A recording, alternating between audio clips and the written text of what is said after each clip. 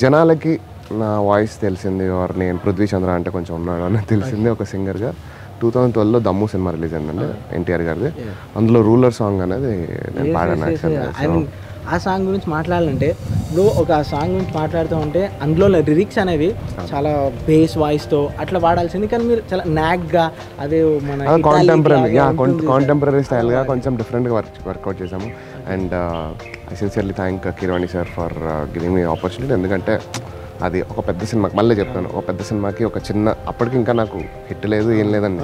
Just పాడుతున్నాను అంతే so ఒక పెద్ద సినిమాకి ఒక పెద్ద హీరోకి ఎన్టీఆర్ సార్కి సో అలాంటి హీరోకి ఒక ఛాన్స్ ఇవ్వడం అనేది ఆ టైంలో it's a very very big thing for me and ఈ ఇందులో ఈ ఈ ఈ నమస్తే తెలంగాణ ప్లాట్ఫామ్గా వాడుకొని sincerely thank all the music directors trusted me నన్ను ఇంత దూరం తీసుకొచ్చిన వాళ్ళందరికీ కీరవాణి గారు దేవిశ్రీ ప్రసాద్ గారు తమన్ గారు అను ప్రూబెన్స్ గారు అన్- మణిశర్మ గారు చాలా చాలా I'm really thankful for everybody each and everybody was encourage me ఒకసారి మాకోసం ఆ లిరిక్ వాడరు తమ్ము సినిమాలో తమ్ము సినిమా? అంగ వంగ కేరళ కళింగ గౌడ కుంతల విదర్భ మగధ సింహళ సాల్వ గౌణ బర్బర అవంతి చోట లాట పాండ్య చేరి మద్ర చక్రవర్తులెందరున్న వీడు ఏక వీరుడు ఏకైక క్షాత్ర వీర్యుడు కవ్య చిత్ర లేఖనం సంగీత శిల్ప నాటకం సముద్రికం ఉచాటనం ఆకర్షణం విద్వేషణం అగ్నిజలవయస్తంభం బహుకళా ప్రవీణుడు ప్రవీణుడు నవీనుడు.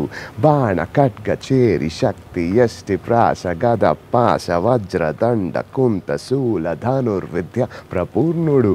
ఘన ఘన ఘన ఘనుడు. అగణిత గుణఘనుడు. జనగణమున ఘనుడు. Ruler.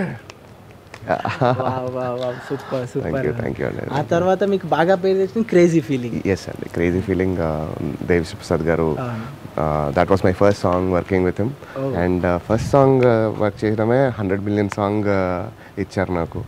And life long thanks చెప్పుకున్నా సరిపోదు యాక్చువల్గా because that one song has made made my అంటే entire career in different shape and అప్పటిదాకా ఒకలాగా దాని తర్వాత తర్వాత ఇంకో ఇంకొకలాగా పేరు వచ్చింది ఆ టైంలో ఆ సాంగ్ ఉన్నంత క్రేజ్ అసలు చాలా క్రేజ్ అసలు. ఎక్కడ పోయినా అదే సాంగ్ హమ్ చేసుకుంటూ ట్యూన్స్ రింగ్ టోన్స్ నేను ఎక్కడికి వెళ్ళి అంటే కొన్ని కొన్నిసార్లు ఒక చాయ్ బండి దగ్గర చిన్న చాయ్ తాగినా కూడా అతనికి అతని సెల్ ఫోన్ రింగ్ టోన్ ఉంటుంది. చాలా చాలా హ్యాపీ ఫీల్ అవుతాను.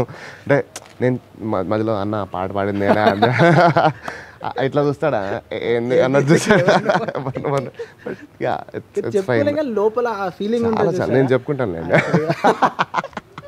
బికాస్ ఓకే పాడింది మనమే కదా. చెప్పుకోవడం తప్పేంటని కానీ చెప్పుకుంటాను ఆ ఫీలింగ్ కానీ ఒకవేళ మనం వెళ్తున్నా సడన్గా ఇట్లా మనం మూవ్ అవుతున్నా ఎవరి దగ్గర నడిచి ఏ అది నేనే పాడాను నేనే పాడాను వాళ్ళు వింటున్నారు చాలా హ్యాపీ ఫీల్ అవుతాను ఫస్ట్ థింగ్ ఎందుకంటే ఒక ఆర్టిస్ట్గా మనకు కావాల్సింది ఏంటంటే రికగ్నిషన్. సో మన పాటలు మన మనం ఎవరో తెలియకుండా కూడా వింటున్నారన్నా కూడా చాలా హ్యాపీ ఇట్స్ నాట్ అబౌట్ మన పేరు గుర్తు పెట్టుకోవాలి అట్లా.